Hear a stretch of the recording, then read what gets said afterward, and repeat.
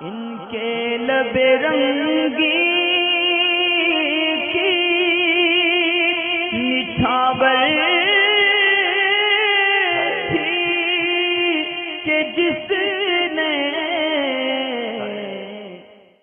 اچھا، علی محمد بھائی ہیں، معلوم یہ کرنا چاہتے ہیں کہ جیسے رمضان کے اندر مسجد کے اندر لوگ افطاری وغیرہ بھیجتے ہیں، افطاری کا سامان روزدار کے لیے۔ تو اس میں ہوتا یہ ہے کہ غیر روزے دار بھی لوگ جو علاقے کے ہوتے ہیں مسجد کے آس پاس رہتے ہیں، ان کا روزہ نہیں ہوتا تو وہ لوگ بھی اس میں شامل ہو جاتے ہیں۔ یا ایسے بچے کے جو بالغ ہوتے ہیں، سمجھ والے ہوتے ہیں اور وہ اس افطار میں شامل ہوتے ہیں تو ان کو کھانا چاہیے یا نہیں کھانا چاہیے۔ یعنی روزے دار کی افطاری کو بغیر روزے دار جو کہ مسجد میں آئی ہے، اس کا کھانے کا حکم کیا ہے؟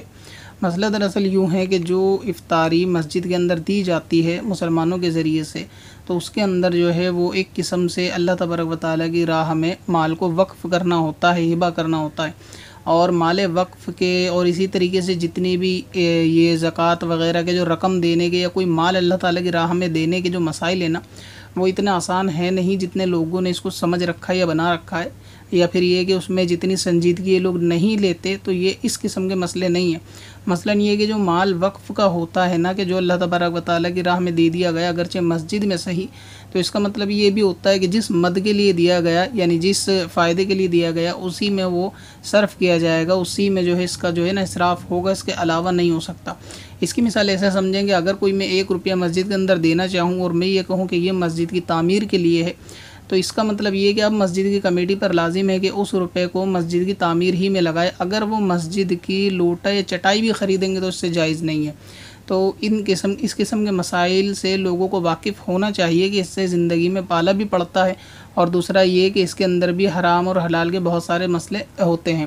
تو اب جو وقف کا مال ہوتا ہے وہ اسی صرف میں جائے گا جس کام کے لیے دیا گیا ہے۔ تو اب یہ جو افطاری ہوتی ہے، یہ بھی ایک قسم سے مال ہی ہے۔ تو جب کسی بندے نے مسجد کے اندر افطاری بھیجی، تو افطاری بھیجنا یہ مطلقاً روزے دار ہی کے لیے ہوتا ہے۔ غیر روزدار کا اس میں تصور نہیں ہوتا۔ انڈرسٹوڈ ہے کہ جو شخص مسجد میں مغرب کے وقت میں افطاری دے رہا ہے، وہ خاص روزے والوں کے لیے دے رہا ہے۔ اگر بغیر روزے والوں کے لیے دینا ہوتا، تو پھر یہ رمضان کے علاوہ بھی دے سکتا تھا۔ تو لہٰذا جب کسی نے مسجد میں افطاری بھیجی، تو وہ اس لیے بھیجی کہ روزے دار اس کو جو ہے نا وہ کھائیں گے۔ اب اس میں اگر کوئی اور شخص شامل ہو جاتا ہے جس کا روزہ نہیں ہے تو پھر یہ اس کا کھانا جو ہے وہ حرام ہے۔ اسی طرح اللہ حضرت عظیم البرکت امام اہل سنت نے فتح و رضویہ شریف کے اندر فرمایا کہ یہ افطاری یعنی جو روزدار کے لیے ہو، اس کو غیر روزے دار کا کھانا یہ حرام ہے کہ یہ مال جو ہے وہ یتیم کے مال کے مثل ہوتا ہے۔ اور قرآن پاک میں اللہ تبارک و تعالی نے ایسے مال کو کھانے کے لیے فرمایا کہ یہ لوگ اپنے پیٹ میں آگ بھرتے ہیں اور جلد ہی یہ جہنم کے اندر جائیں گے۔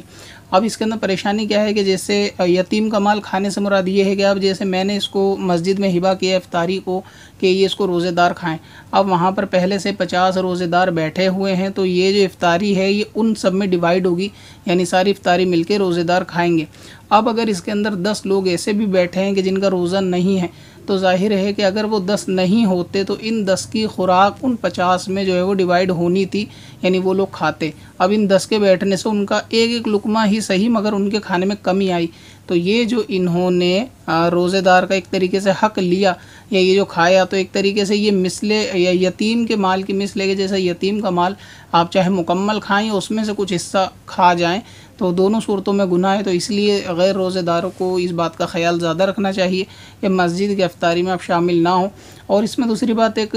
قوم کو دھوکہ دینے والی اور جھوٹ بھی ہوتی ہے، کیونکہ جتنے لوگ مجلس میں بیٹھے ہوتے ہیں، وہ سب ایک دوسرے کو روزہ دار سمجھ رہے ہوتے ہیں۔ اب ان کے بیچ میں غیر روزہ دار بیٹھا ہوتا ہے، لوگ اس کو بھی روزہ دار سمجھ رہے ہوتے ہیں، تو یہ ایک قسم سے لوگوں کو دھوکہ دے رہا ہوتا ہے یعنی اپنے فیل سے اس طرح بن کے دکھاتا ہے کہ یہ بھی روزے دار ہے اور اس کو وہاں بننا بھی اس لیے پڑتا ہے کیونکہ یہ پہلے کچھ وہاں کھا نہیں سکتا۔ حالانکہ گھر سے کھا پی کے چلتا ہے تو ایسا بھی دیکھا جاتا ہے کہ لوگ اس طرح مسجدوں میں کرتے ہیں۔ اچھا یہ اب ان دنوں میں زیادہ صورت پیش آتی ہے، جیسے ابھی الوداع کا روزہ ہوگا یا چاندرات وغیرہ کا۔ تو اس میں کیونکہ اکثر افطاری مسجد کے اندر زیادہ ہوتی ہے، تو ایسی صورتوں میں یہ لوگوں کی تعداد یعنی غیر روزے داروں کی مسجد میں کھانے کے لیے بڑھ جاتی ہے، اگرچہ یہ جائز نہیں ہے اور ان کا کھانا یہ حرام ہے، لہٰذا یہ کہ ابھی الوداع روزہ بھی جلدی آنے والا ہے، تو ہو سکتا ہے مسجد میں زیادہ بھیڑ بڑھ جائے، تو اس ویڈیو کو آپ زیادہ سے زیادہ شیئر کر دیں کہ شاید کوئی اس سے رک جائے، اگر کسی نے ایسا معاملہ کرا ہے تو وہ اس سے جو ہے وہ رک جائے۔ ہاں اگر کسی کا ایسا مسئلہ ہے کہ جیسے گھر کے اندر ہیں، گھر کی فیملی کے اندر، اس کے اندر غیر روزے دار شامل ہو، گھر والے بھی جانتے ہیں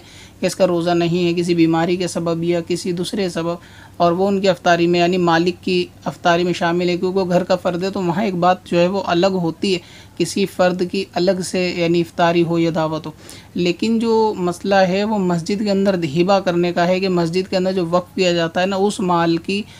ذمہ داری بہت زیادہ ہوتی ہے، لہٰذا وقف کے مال کو اس طرح اپنے خرچ میں نہ لایا جائے۔ اب مال وہ رقم کی صورت میں ہو یا افطاری کی صورت میں، بہرحال یہ کہ جو مسجد میں اللہ تبارک و تعالیٰ کے لیے دے دیا گیا، وہ جو ہے وہ وقف ہو گیا اور جس کی چیز کے لیے ہے، اسی چیز میں افطار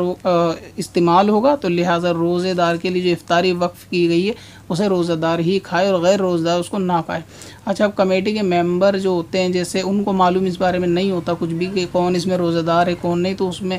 ان پہ کوئی شکایت والی بات یعنی کوئی گناہ والی بات نہیں ہے، کیونکہ وہاں تو مسئلہ ایسا ہوتا ہے کہ کسی کو پہچان بھی نہیں سکتے اور کوئی بولتا بھی نہیں ہے۔ لیکن یہ کہ یہ افطاری غیر روزدار کو کھانا حرام ہے، یہ گناہ گار بھی ہوں گے، توبہ بھی کرنی پڑے گی۔ اور یہ کہ آئندہ اس بات کا خیال بھی رکھیں کہ اس قسم کی کسی افطاری کے اندر جگہ جہاں روزے دار کے لیے خاص ہو، شامل نہ ہو، کہ اس میں ایک جھوٹ اور دھوکہ دینے والی صورت بھی موجود ہے۔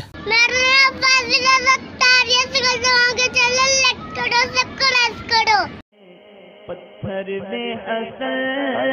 لالے پورن بار